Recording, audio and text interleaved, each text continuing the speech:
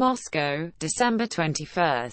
TASS. The U.S. claims that the 9M729 cruise missile entering service in Russia has a flight range that fails to meet the requirements of the Intermediate Range Nuclear Forces INF Treaty. A groundless, Russian Foreign Ministry spokeswoman Maria Zakharova said on Thursday. Now at this stage, it, the United States has switched to accusations against Russia that the 9M729 cruise missile entering service has a range that fails to comply with the treaty's requirements. However, the United States does not give any proofs, as usual, the Russian diplomat said. We see the reason for that only in the fact that there are simply no such proofs, Zakharova said. The missile system mentioned by the Americans, namely, the 9M729 land-based cruise missile, fully complies with the treaty's requirements, the diplomats said. The 9M729 cruise missile has not been developed or tested for a range banned by the INF Treaty and its deployment is taking place in strict compliance with Russian and international commitments, Zakharova said. We are calling on the United States to stop speculating on the theme of the so-called Russian violations and constructively join the dialogue for settling the well-known Russian claims for the observance of the treaty by the United States itself, she said. We again confirm our commitment to the treaty and expect the U.S. to review its counterproductive policy and return to the depoliticized and professional substantive dialogue on the accumulated problems in order to settle them, the diplomats said.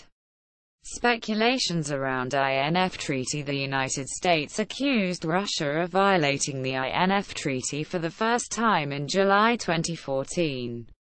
Since then, Washington has been repeating these accusations while Moscow has been categorically rejecting them.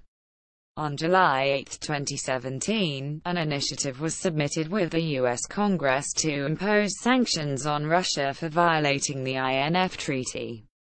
The U.S. Department of State said in early December that Washington would take economic and military measures unless Moscow returned to honoring its obligations under the treaty.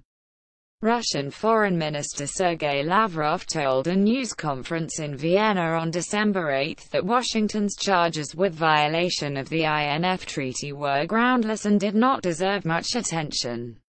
Along with it, Moscow makes charges of its own against Washington concerning compliance with the treaty. The INF Treaty was concluded in Washington on December 8, 1987 and took effect on June 1, 1988.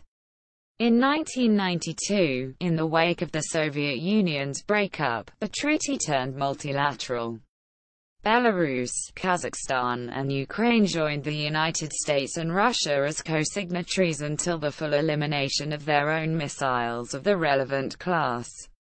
The INF Treaty eliminated operational and non-operational medium-range 1,0005 500 km and shorter-range 5,001,000 km ground-launched missiles. The Soviet Union eliminated 1,846 missiles, and the United States, 846.